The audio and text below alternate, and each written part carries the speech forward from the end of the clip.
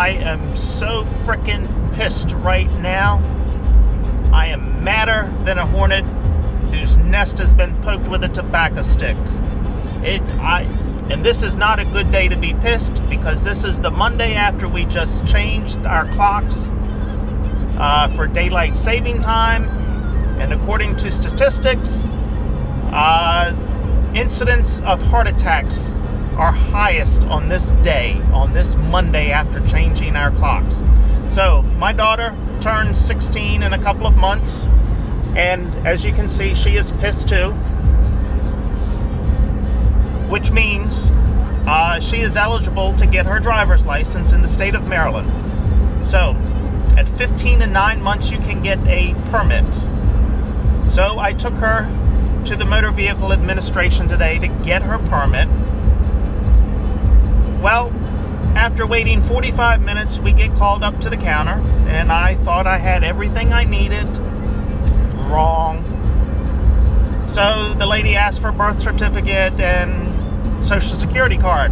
I have the birth certificate, all is good. Well, who asked for a social security card? No one. But anyhow, I did have a copy of her social security card. Guess what? That's not acceptable. No, a copy of the Social Security card with her name on it is not acceptable. But yet, they will take a copy of a W 2 form. Ridiculous, because when you are employed by someone, you do not have to provide your Social Security card to your employer for proof of verification. You sign a W 9 form. Why can't we do that at DMV? No.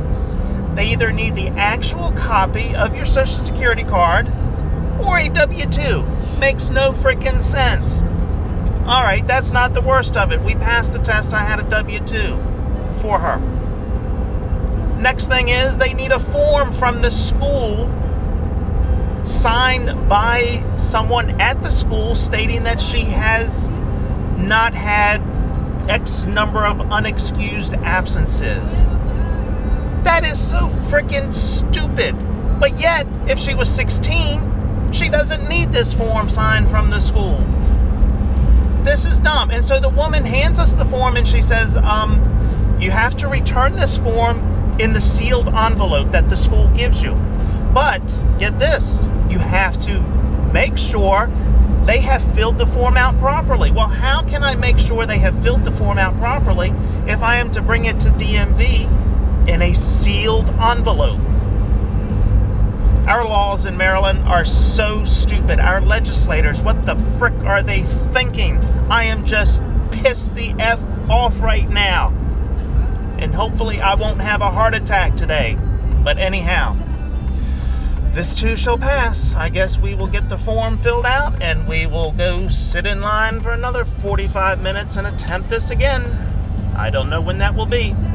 All right, I'm pissed. That's enough. See ya.